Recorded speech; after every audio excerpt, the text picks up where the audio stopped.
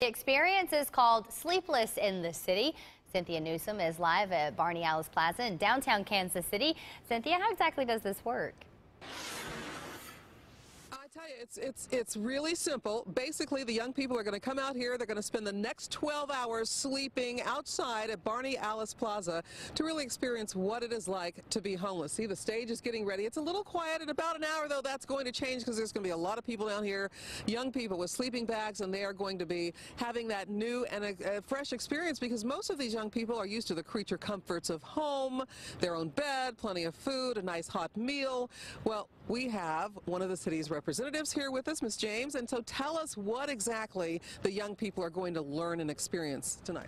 Basically, what we're going to do is simulate what it's like to be homeless. So we're going to spend 12 cold hours out here, outside, on the ground, around warming barrels. All right, Kalina, so tell us how the young people are going to spend this time. It's 12 straight hours. They're going to bring their sleeping bags. What's going on? Absolutely. So they all know to dress very warmly, layer up, bring your sleeping bag or your blanket or your tent. And we have plenty of outdoor activities planned for the night. So we have a professional storyteller, we have magic, we have motivational speaking, we're going to show an outdoor movie. I mean, this is going to be phenomenal this year. All right, Kalina James, thanks so much for being here and telling us what's going to happen here tonight when all the young people arrive and spend 12 hours outside experiencing this. And I have to say, this is a fundraiser for Hope Faith Ministries, and they feed about 800 homeless people every day. So we definitely want to include that. And that money is raised by the registration fee kids paying to come out here and spend the night out of the cold to see what it's like to be homeless. Reporting live, Cynthia Newsome, 41 Action News. Thank you, Cynthia. And the latest figures from the National Healthcare for the Homeless Council